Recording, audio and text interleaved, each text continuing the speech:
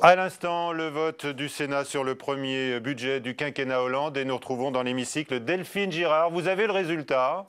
Oui, Michel, hein, et sans surprise, eh bien, le texte a été rejeté. 156 euh, voix euh, pour l'adoption, 165 voix contre. Il y a donc 9 euh, voix d'écart. On le sait, ici, la majorité est très serrée. Au Sénat, eh bien, malgré les appels de François Rebsamen à limiter l'automutilation des compétences du Sénat, il a estimé eh bien, que notre Assemblée mérite de poursuivre l'examen du Sénat. Cela n'a pas marché. Nous allons y venir, Michel, tout de suite avec notre invité. Venez, Jérôme Kelzac. Vous êtes en direct sur Public Sénat. Ce texte vient donc d'être rejeté. Une réaction? La première partie euh, du budget, c'est-à-dire la partie recette, vient d'être effectivement rejetée, puisque le groupe communiste euh, ayant décidé euh, de s'abstenir, chacun sait que sans leur voix, la gauche n'est pas majoritaire au Sénat.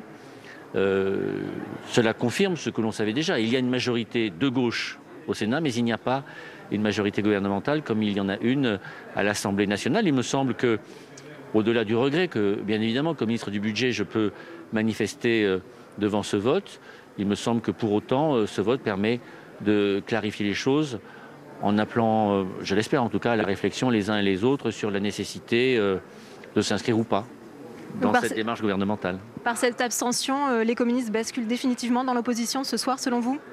C'est à eux de le dire. Ce qui est certain, c'est que par cette abstention, ils ne s'inscrivent pas dans la logique majoritaire euh, que souhaitent le président de la République et le Premier ministre. Est-ce que le dialogue est rompu ce soir avec les communistes, selon vous? Certainement pas. Euh, je viens de parler avec certains des sénateurs euh, communistes, dont je ne suis pas certain d'ailleurs que le vote qu'ils ont décidé d'avoir les satisfasse pleinement. Mais des choix sont parfois nécessaires qui peuvent être difficiles ou cruels.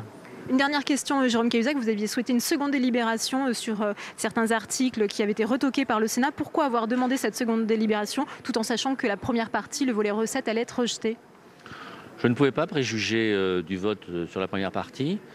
Et dès lors que je ne pouvais pas préjuger de ce vote, il me paraissait essentiel, par cette deuxième délibération, de rappeler ce qu'étaient les choix fondamentaux du gouvernement et en matière d'équilibre des finances publiques et en matière de politique fiscale.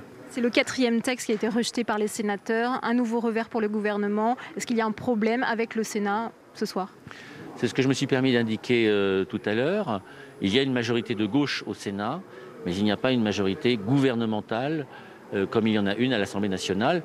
Mais chacun sait que l'Assemblée nationale a le dernier mot en cas de contestation avec le Sénat, et l'essentiel est bien là. Merci beaucoup d'avoir répondu en direct à nos questions. Voilà.